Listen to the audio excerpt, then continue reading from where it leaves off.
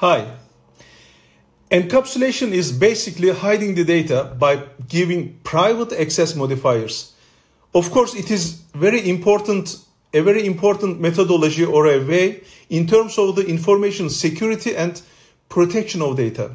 Additionally, encapsulation is one of the four important principles of object-oriented programming.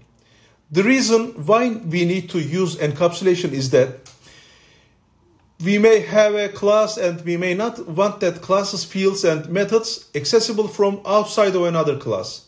So this is where we are gonna use encapsulation for hiding the data.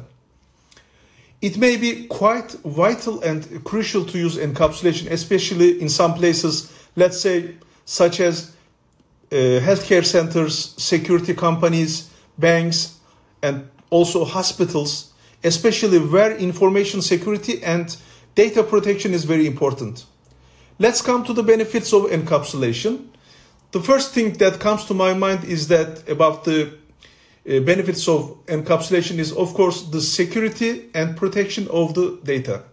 Because we are trying to prevent our data from illegal or unwanted access as well as unintended changes. And uh, secondly, we are gonna have a control over what is stored inside the data.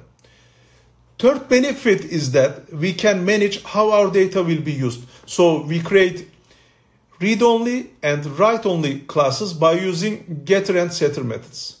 And the fourth benefit, I would say that uh, encapsulation is more flexible, reusable, and easy to maintain.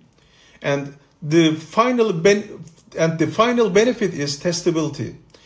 I mean that testing our software is simpler and easier for unit testing since the variables are not spread all over the place by implementing encapsulation. So this feature of encapsulation provides the testers saving time and effort as well.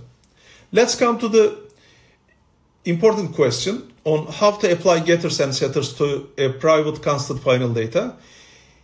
The answer is uh, if private constant final modifier is used, it makes data immutable, I mean unchanged.